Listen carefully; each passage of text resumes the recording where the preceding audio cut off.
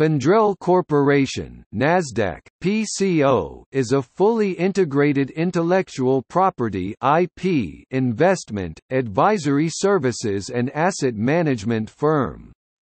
The company develops and implements strategies to acquire, commercialize, manage, divest and license IP. The company, formerly ICO Global Communications, is based in Kirkland, Washington. In June 2011, Pendrell acquired the Ovidian Group, a leading worldwide intellectual property strategic advisory services firm. In October 2011, Pendrell acquired ContentGuard, a leading developer of digital rights management technologies with more than 260 patents. More than 50% of the world's handset manufacturers have licensing agreements in place with ContentGuard.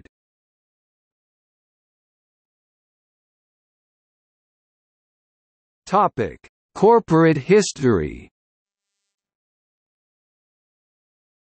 Founded in January 1995, ICO Global Communications, planned to build an MSS constellation in medium Earth orbit in two 45 degrees inclined orthogonal planes, and had contracted Boeing Satellite Development Center then Hughes for 12 spacecraft in July of that year, 10 operational spacecraft and two in-orbit spares. ICO filed for Chapter 11 bankruptcy protection in August 1999, but emerged as new ICO in May 2000, following investments by Craig McCaw and others.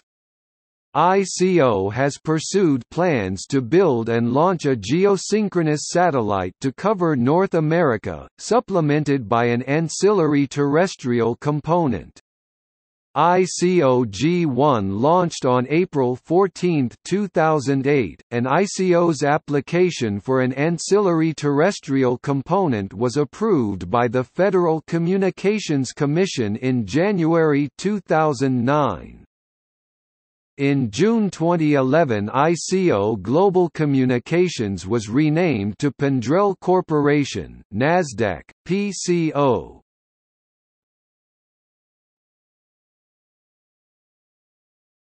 Topic: Early satellites. The first spacecraft, a Hughes HS-601 designated ICO F1, was lost due to a sea launch anomaly on March 12, 2000. In September 2000, ICO contracted Hughes for three additional spacecraft, and Hughes agreed to modify the 11 remaining spacecraft from the original contract to support an ICO redesign of the system. Hughes Space Systems subsequently became a subsidiary of the Boeing Corporation. On June 19, 2001, the second spacecraft was successfully launched by an Atlas IIs from Cape Canaveral Air Force Station. The remaining spacecraft are in storage in various stages of near completion, and litigation between ICO and Boeing involving the ICO MEO satellites went to trial in June, 2008. In October 2008, a jury awarded ICO $371 million in damages and $236 million in punitive damages in verdicts which found Boeing guilty of fraud, tortious interference and breach of contract. The Los Angeles County Superior Court finalized the verdict in March, 2009 in an amount totaling $603 million.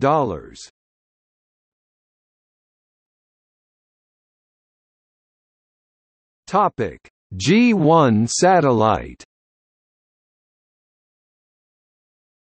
The ICO G1 satellite was built by Space Systems, Loral, based on the Loral 1300 platform. a contract to launch the satellite was signed with Lockheed Martin, who announced plans to launch the satellite on an Atlas V launch vehicle, flying in the 421 configuration. Launch, from Space Launch Complex 41 at the Cape Canaveral Air Force Station occurred at 20 hours 12 minutes and 0 seconds Greenwich Mean Time on April 4, 2008. The satellite separated from the carrier rocket 30 minutes and 49 seconds later, completing a successful launch. It is currently in a nominal geosynchronous orbit. At the time, ICO G1 was the largest commercial satellite ever launched.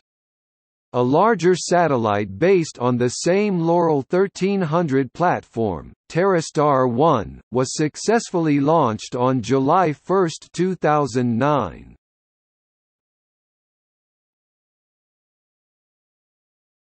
Topic G1 The G1 satellite is intended to support a wide range of mobile voice, video and data services, and covers the continental United States, Alaska, Hawaii, Puerto Rico and the U.S. Virgin Islands. Alpha trials of this service will begin in 2008 in Las Vegas, Nevada and Raleigh-Durham, North Carolina.